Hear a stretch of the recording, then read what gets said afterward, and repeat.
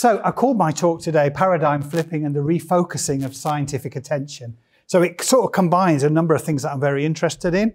One of them is ADHD, that's my sort of core research interest, so attention deficit. Uh, the other is philosophy of science and scientific creativity. So uh, this is what I'm going to try and combine in a five minute talk. So ADHD is defined as a mental disorder marked by developmentally inappropriate levels of pervasive and persistent symptoms of inattention, hyperactivity, and impulsivity. It has an early childhood onset and is by definition impairing and distressing. According to Kuhn, of course, scientific study of ADHD and everything else is made possible only by sets of stable meta-theoretical assumptions about the nature of the phenomenon being studied things that we take for granted about that phenomena and don't test, what he called a paradigm. In the case of ADHD, um, its science and its clinical practice that it drives, these are all underpinned by assumptions that come from the medical model. Notably, that ADHD is, first of all, a unitary qualitatively distinct category, that it's the result of deficits in key normative brain functions established early in life, which in and of themselves are inherently negative and ubiquitously impairing. If we re represent this figuratively, we can look at it in this way. So we can see that ADHD, we assume that ADHD is grounded in brain dysfunction that is expressed as disorder that causes impairment.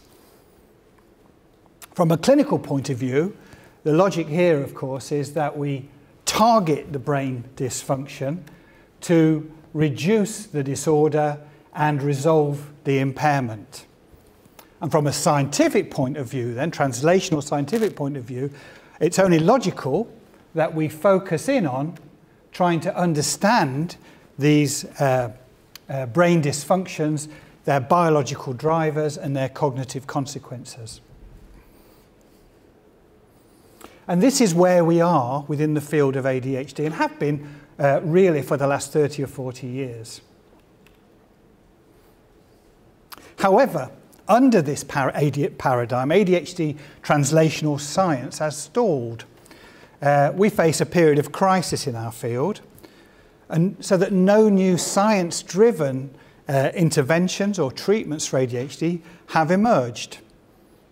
This means that um, people, scientists, clinicians, and so forth, are starting to search around for alternative perspectives and new ideas to reinvigorate our search for better interventions. Now, the neurodiversity movement, which some of you may have heard about, although primarily motivated by social justice for people with neurodevelopmental conditions, also contains new assumptions about the nature and causes of ADHD and other conditions, particularly autism. This offers an opportunity for an alternative translational science paradigm with the potential to change the therapeutic goals and so refocus our scientific attention. So, from a neurodiversity perspective, at the heart of this uh, perspective, this switch uh, or this flip, uh, is the rejection of the concept of disorder and the brain dysfunction that it implies, and replaced by descriptions of atypical brains and differences in thinking and acting, which, when confronted by what you might call non sympathetic or non affirmative settings and environments, uh, create negative developmental cycles.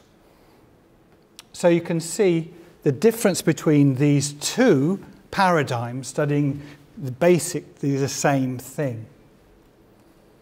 From a clinical point of view, of course, we no longer fo focus on fixing brain dysfunction, but rather creating affirmative experiences that can interrupt that cycle of decline, leading to a arc of growth, we might call it.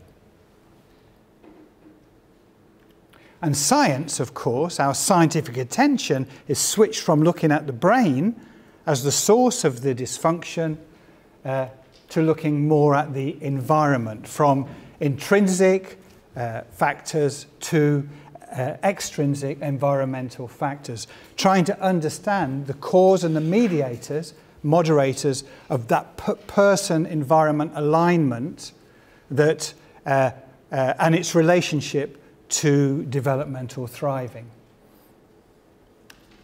Just to finish, I just finished an editorial uh, um, arguing that, that paradigm flipping is a way to uh, develop new ideas to reinvigorate our field. And we're implementing this new vision within our four year MRC program called Restart, regulating emotions and strengthening adolescent resilience, where we're exploring the emotional lives and experiences of uh, adolescents with autism or, or ADHD uh, in an attempt to develop new interventions for those uh, people uh, to reduce the levels of depression uh, in adolescence and through into adulthood. Thank you very much.